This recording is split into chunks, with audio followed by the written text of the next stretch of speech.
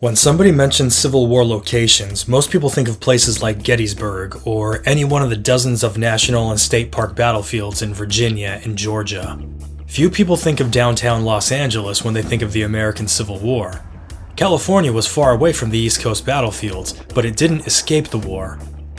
The deadliest conflict in American history spanned from both coasts, and dramatic events happened right here in Southern California.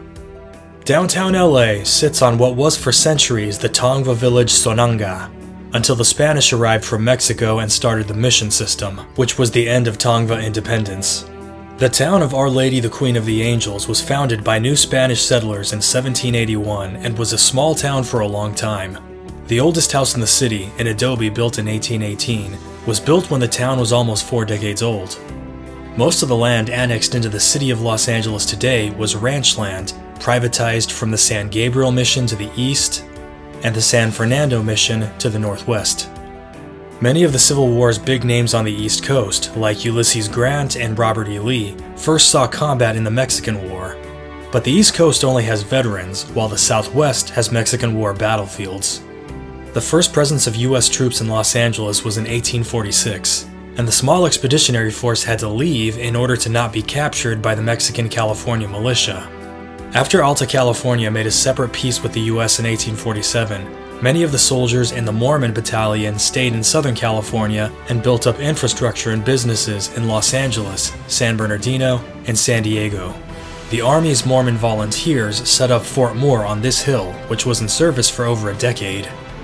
Southern California was a place where politics made strange bedfellows in the late 1850s.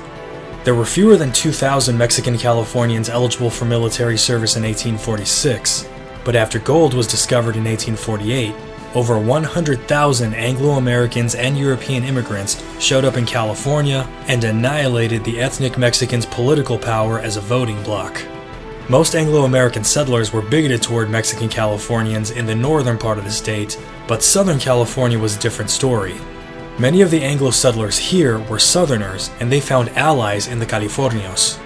Southern planters had a similar social rank structure as the Mexican Californian aristocrats. The Southerners were raised on plantations, while the Californios were raised on ranchos. Horses and horsemanship were symbols of wealth and power in both cultures. Southerners had a permanent laboring class in African Americans, while Californios had a permanent laboring class in Native Americans. Southern Anglo Democrats call themselves the chivalry, while in the Spanish language, the word caballero is the same word for horseman and gentleman and knight. As the sectional crisis deepened in the late 1850s, California's Mexican aristocracy allied itself with Southern Democrats to protect their political power. They almost succeeded in breaking off Southern California as a new state that would be a slave state, but the turmoil from the 1860 election and the secession crisis interrupted that plan. By 1860, the city of Los Angeles had over 4,000 residents, with around 10,000 people total in the whole county. This spot on Spring and 2nd Street was the location of the first brick schoolhouse in the city, which I don't care about. But what I do care about is that the U.S. Army Quartermaster Station was on this block where the old LA Times building stands today. We'll get back to the Quartermaster Corps in a minute. More importantly, the Butterfield Overland Mail Company had their office here. The Butterfield Overland Company was a literal pioneer in opening up the Wild West for English speakers. They built the roads carrying passengers and freight from El Paso, Texas to San Francisco, California. Yes, there were other stagecoach lines like Pioneer, there were charter stagecoaches, Wells Fargo had their own stagecoaches, but the Butterfield Company was king. They built the roads, and a lot of small towns popped up along those roads that were totally dependent on interstate travel. Their operations in the Southwest and on the West Coast were subsidized by a contract with the federal government. When the war was getting started in 1861, the government canceled the contract and, overnight, operations ground to a halt from Texas to California. It was bad enough for people in California to lose their one way to send mail overland, but for frontier settlements like Tucson, Arizona, Losing the stagecoach meant they were cut off from the rest of the world, and it's one of the reasons why Arizona became the eighth entity to secede in 1861.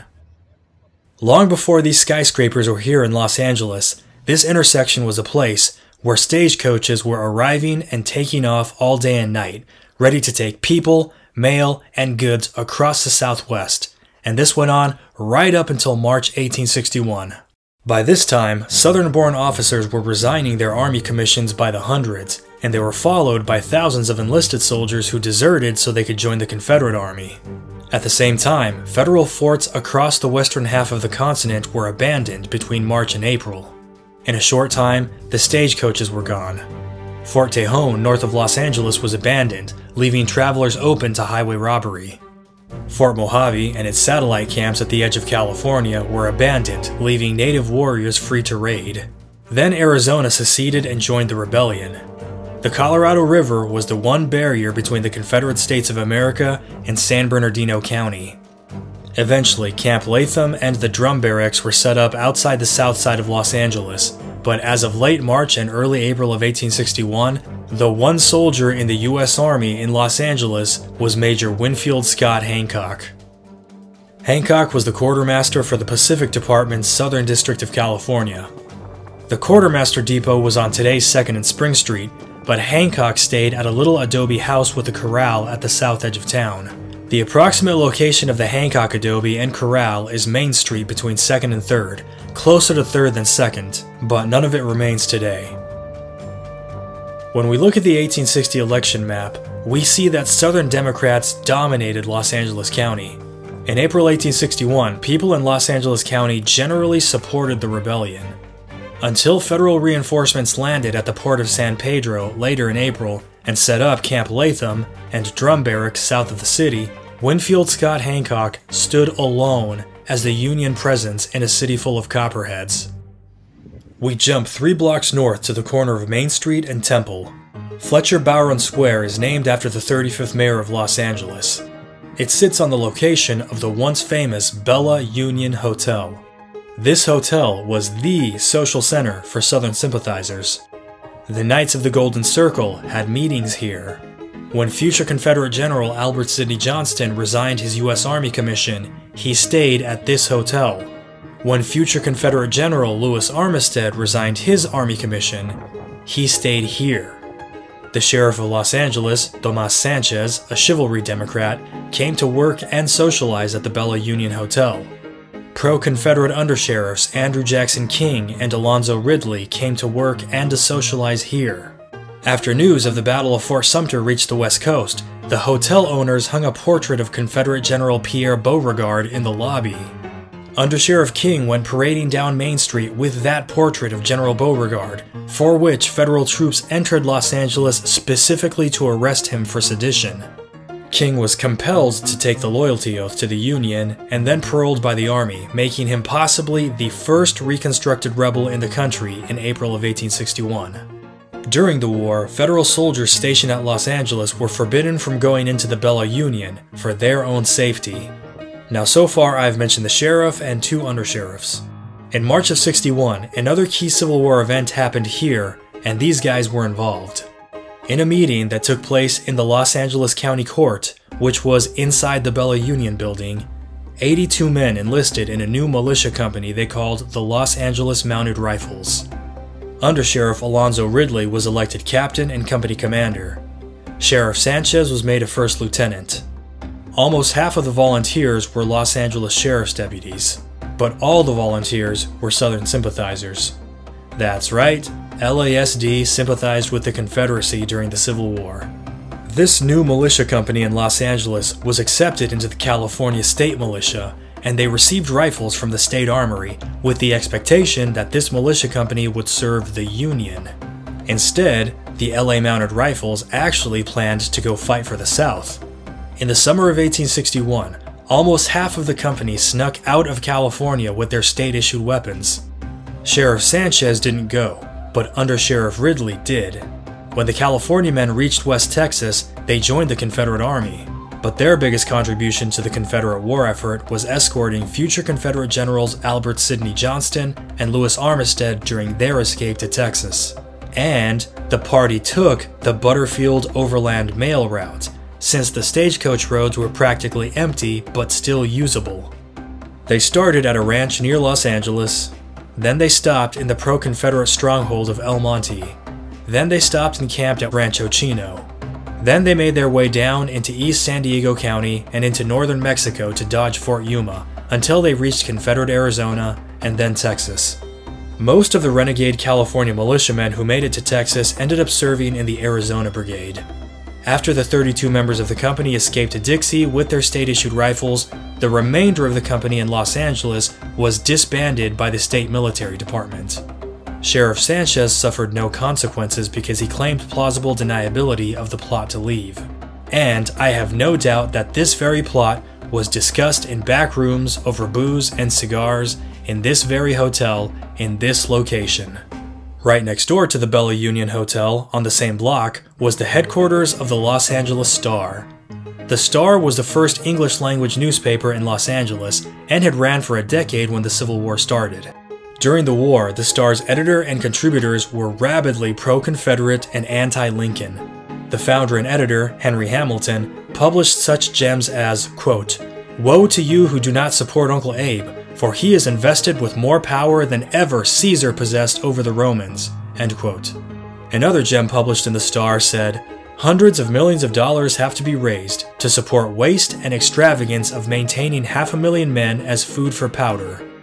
The Star called this war an abolition war, quote, instigated, carried on, and consummated to the degradation of the white race and the elevation of the African family over them. Thus, it's no surprise that the paper's founder, Henry Hamilton, was arrested by the Union Army for sedition in 1862 and sent to Fort Alcatraz. During that time, the Federal Postal Service banned his seditious newspaper from being mailed, and then the Army shut the paper down. But Hamilton was paroled, and after a brief hiatus, he was allowed to publish again. Then the Southern Democrats of Los Angeles elected him to the state senate in 1863. And of course, every time federal troops patrolled through the city of Los Angeles or its nearby suburbs like El Monte, the Star was complaining about it. So earlier I mentioned Winfield Scott Hancock. Then I mentioned how Lewis Armistead and General Johnston escaped from Los Angeles with the rebel militia so they could serve as officers in the Confederate Army. Major Hancock stayed in Los Angeles through the summer of 1861 before he went back east. He thought he would resume quartermaster duties for the growing Federal Army, but instead, he was made a brigadier general of infantry. Armistead and Hancock might be the most famous frenemies in American history, these old army buddies became best friends when they were still in the same army and stationed in the same area, and they met one last time before Armistead escaped back east, and they ended up on opposite sides of the Civil War. Hancock served the Union in the Army of the Potomac, while Armistead was in the Army of Northern Virginia. Both men were at the Battle of Gettysburg, and both men were wounded there by gunfire. General Hancock survived his wounds from Gettysburg, while General Armistead died in Pickett's charge. Albert Sidney Johnston became a general officer in the senior ranks of the Confederate armies. Once he made it to Richmond from Texas, he was given command of the Confederacy's Western Military Department. The ex undersheriff of Los Angeles, Alonzo Ridley, having earned Johnston's trust on the march across the desert, was commissioned as one of Johnston's staff officers. After General Johnston was killed in the Battle of Shiloh, Ridley transferred into the 3rd Texas Cavalry Regiment of the Arizona Brigade. He was captured in the Battle of Fort Butler in 1863 and endured two years as a POW. The Los Angeles Star published again from 1863 to 1864, but one week before the 1864 election, when the victory at Atlanta made it clear that Abraham Lincoln would win, the paper went on another hiatus since there was really no point in influencing public opinion. However, it came back again for the 1868 election and then had another run until 1873. Los Angeles and its suburb of El Monte were patrolled on a regular basis by federal troops from the California Volunteers for the rest of the war. Tomas Sanchez served as sheriff of Los Angeles until 1867. He remained active in local politics and retired to his family's property, Rancho La Cienega. And 19th century Los Angeles being 19th century Los Angeles, it should be no surprise that in 1880, the city elected a Confederate veteran as its mayor. I hope you enjoyed this tour of some Civil War locations in downtown Los Angeles. Remember, this was a national conflict making waves from coast to coast. The war between the states and territories wasn't just happening in Northern Virginia. It was happening across the Wild West as well, with cowboys and gold miners and lawmen taking up arms for the North or the South, and it happened right here. I'd like to give a shout out to the Southern California Civil War Roundtables. My friends, LA and SoCal Civil War history is our heritage. Wherever you are, good morning or good evening, and please remember to hit like and subscribe because it helps out the channel. And I promise, soon, very, very soon, I will release the book, The Confederate Territory of Arizona, which contains even more information than I had time to put in the documentary. I'll keep you folks posted on its release, and thank you for your support.